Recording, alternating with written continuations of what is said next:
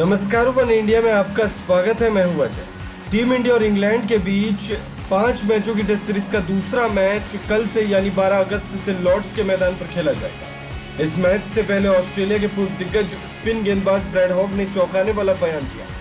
दरअसल bread hoc ने कहा है कि इस मैच में टीम इंडिया में एक बदलाव हो सकता है। ब्रैड हॉक के मुताबिक मयंक अग्रवाल रोहित शर्मा के साथ पारी का आगाज़ कर सकते हैं। तो वहीं के राहुल, जिन्होंने फ़र्स्ट टेस्ट मैच में शानदार प्रदर्शन किया था उन्हें नंबर तीन पर खिलाया जा सकता है।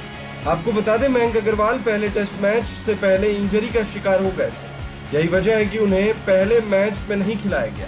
लेकिन अब दूसरे टेस्ट मैच से पहले अग्रवाल पूरी तरह फिट हो गए हैं और उन्हें लॉर्ड्स मैदान पर जमकर पसीना बहाते भी देखा गया लिहाजा ये उम्मीद जताई जा रही है कि मयंक अग्रवाल दूसरे टेस्ट मैच में प्लेइंग इलेवन में शामिल ऑस्ट्रेलिया के पूर्व क्रिकेटर ब्रैड हॉग ने इस मुद्दे पर बात करते हुए अपने यूट्यूब चैनल पर बात की और कहा भारतीय टीम काफ़ी निराश होगी कि बारिश की वजह से वो सीरीज़ में एक शून्य की बढ़त नहीं ले पाए।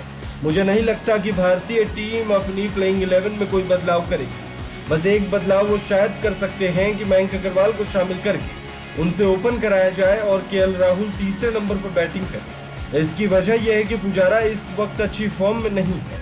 पिछले दस पारियों में वो 40 से ज़्यादा रन नहीं बना पाए। लेकिन मुझे नहीं लगता कि भारतीय टीम मैनेजमेंट ऐसा करेगी। मुझे लगता है कि वो उसी प्लेइंग इलेवन को बरकरार रखे।